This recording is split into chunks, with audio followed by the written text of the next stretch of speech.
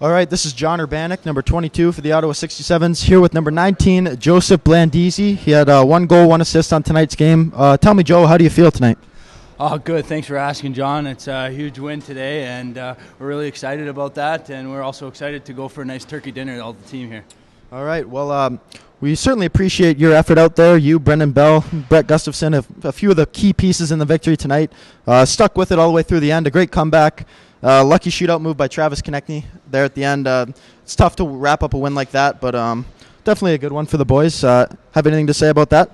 Uh, yeah, for sure. I saw John Urbanic in practice. Actually, he was teaching Konecny that move, so it's good to see a veteran in the league teaching a young guy to do that, and then he pulls it out in the game. So I think Konecny has lots of thanks to Mr. Urbanic there, and we're really excited about this win.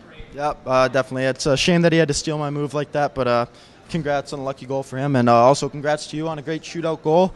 Um, I know number nine, Andrew Abu was a little reluctant to not shoot in the shootout, but do you think he would have scored if he would have shot? Probably.